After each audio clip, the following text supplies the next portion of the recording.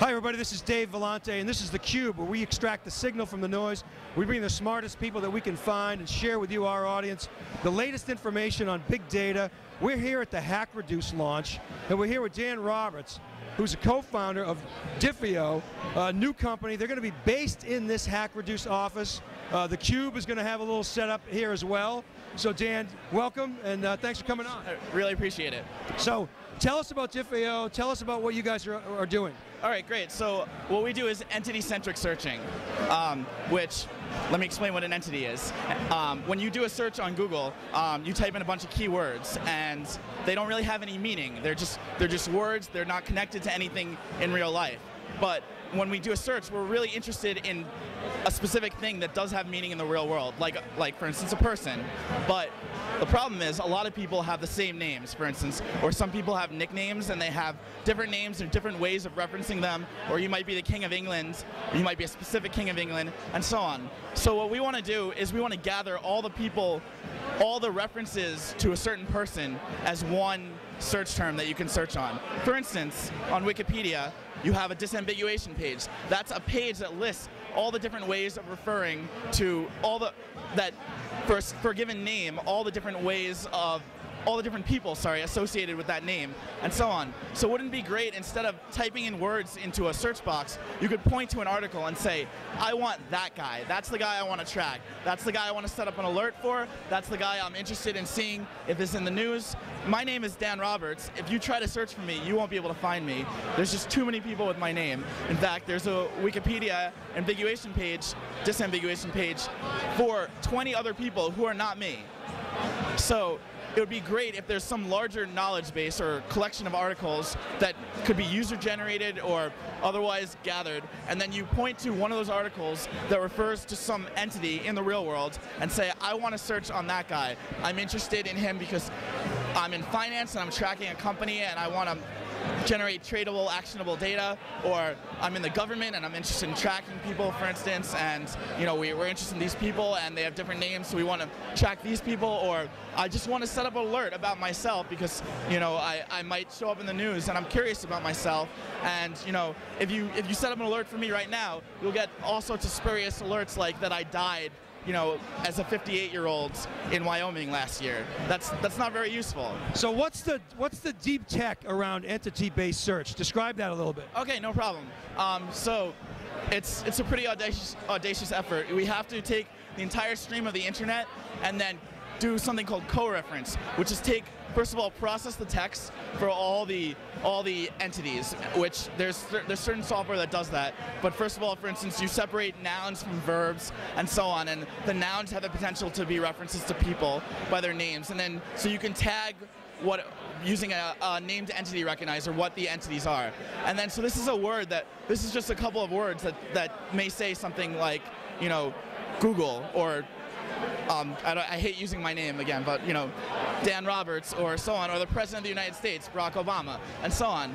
And um, then what you do is you have to take the name and somehow derive features that describe based on the context of the article, what that person is. So for instance, a, a, quick example is the sentences surrounding that name are often a very good indicator of who that person is because they're using the name in context. And then you cross, you compare that in some sort of mathematical way with um, named references across the other documents. And this is a hugely um, computationally intensive process. It's, it's called um, the, the number of different ways of creating different groups of, of these names. Um, is, it goes way faster than the factorial. It's called a Bell number.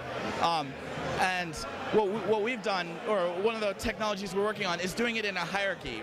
So essentially collecting groups together and then collecting um, grouping on top of that and so on and building these large tree-like structures that in some way represent a person. So like the tree for, for um, let's say uh, Barack Obama would have various subtrees that would essentially fraction out different parts of his his personality or his persona down to the level of the mention. So we build these large trees and then you can move the trees around together and in a sense allow that to scale and that can be done massively in parallel and allow us to solve this problem on a day-to-day basis, taking in the stream of the internet and then figuring out who the people are, what the clusters are, and building these larger structures so that you can come along and then run the query you want. Sounds like it's a combination of of linguistics, mathematics, and, and this architecture, this hierarchical architecture that you're talking about. Absolutely. So yeah, so we combine um, tons of different fields from like um, statistical machine learning, which is like you said, based on the NLP, the natural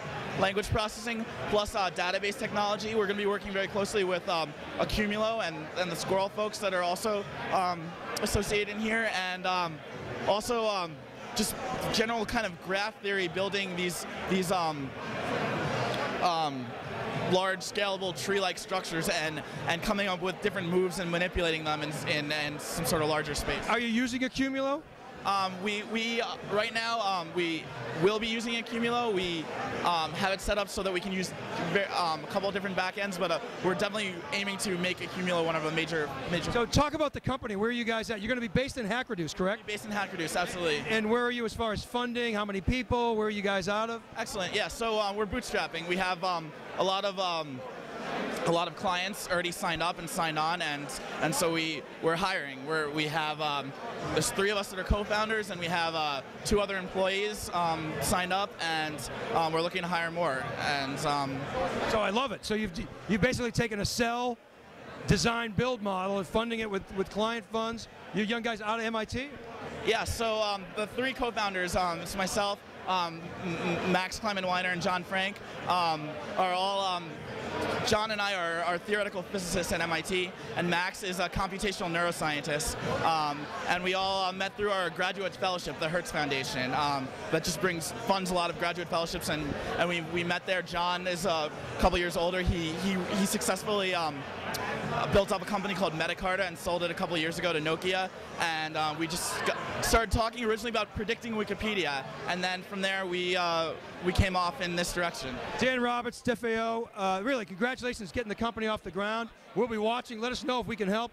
Thanks very much for coming on. Thank you so much. All right, great to meet you. All right, keep it right there. We'll be back with our next guest. This is theCUBE, Dave Vellante, in Boston, in Cambridge at Hack Reduce.